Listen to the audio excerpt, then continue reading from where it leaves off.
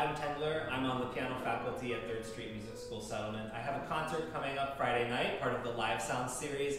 I'm playing music by Bela Bartok, who is a Hungarian 20th century composer. I'm playing three etudes by him, which are really extroverted, loud, fast, crazy pieces, but I'm also playing three books of his Mikrokosmos, which he wrote in the beginning for his son as teaching pieces. I will be playing 96 movements of this piece, uh, the first three books, and we are going to see how it sounds as a suite, as I think it was intended. So I hope to see you there. I think it's going to be a lot of fun.